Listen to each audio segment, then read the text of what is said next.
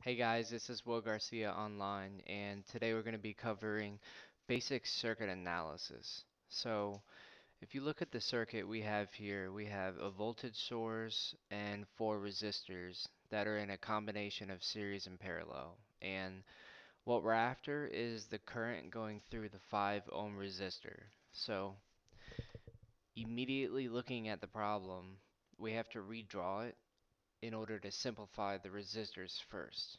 This will be the only way we can solve for this current uh, unless we use another method like nodal analysis or um, mesh analysis. But uh, for now, we're just going to be collapsing resistors to solve the current. Um, in later videos, we'll talk about mesh analysis and uh, nodal analysis. So. From the previous videos, we talked about how to combine resistors in parallel. Um, you can see right there that I'm combining the two 20 ohm resistors into a 10 ohm resistor. And the reason why we can do this is because there's a little fun trick where if you're combining two resistors in parallel that have the exact same value, the equivalent resistance is just half of that number. So you can see we took two 20 ohm resistors and turned it into a 10 ohm resistor. So redrawing the circuit, we can now combine the 5 ohm resistor and the 10 ohm resistor in series, which is just going to be a 15 ohm resistor. So now we have, the only thing left that we have is a 10 ohm resistor and a 15 ohm resistor. And if we use the combination of parallel resistors equation for two resistors, which is simply the um, addition of them over the multiplication of them, we can simplify into one equivalent resistor for the entire resistor network.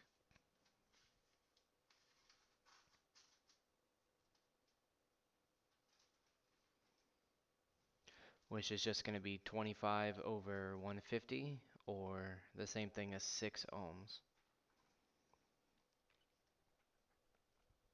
So the main reason why we use this method is because it's not the best method, but it's always a way to go back and double check your work. So if you've used the mesh analysis or nodal analysis method and you just want to double check your work and make sure you got that current correct going through the 5 ohm resistor, this is always going to be a method that you can fall back on.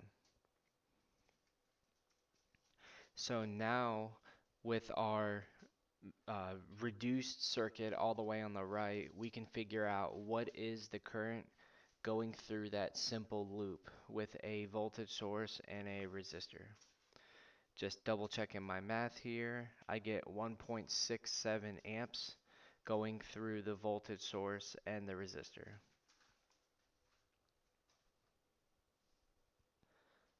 So now we want to plug this current in to the circuit directly on the left and work our way back and build all the way back up to the original circuit you see in the top left. So we can label 1.67 amps coming out of the voltage source in the same direction that we drew on the far right circuit. And now we know that 1.67 amps is going to be split between the 10 ohm resistor and the 15 ohm resistor. So um, we can do this two different ways.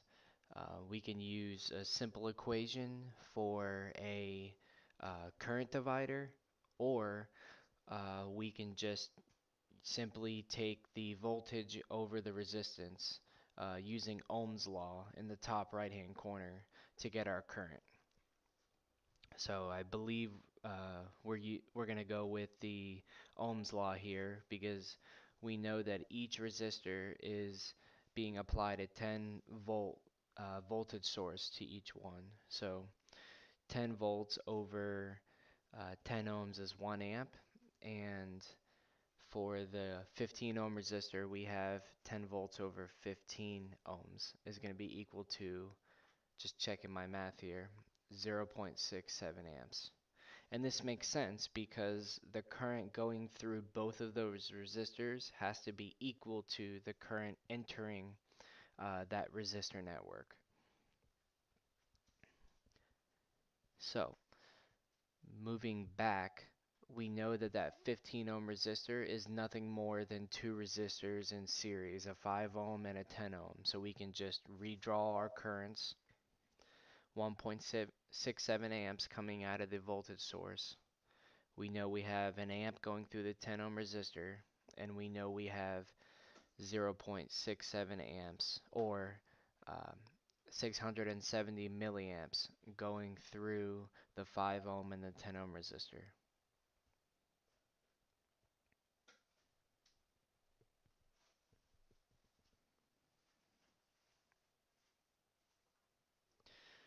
So the next step uh, can be a little tricky, but we know that the 10 ohm resistor is nothing more than just two, two 20 ohm resistors in parallel. So what we can say is that 0.67 amps going through the 5 ohm resistor is going to be the answer because that 670 milliamps is going to be split between the two 20 ohm resistors.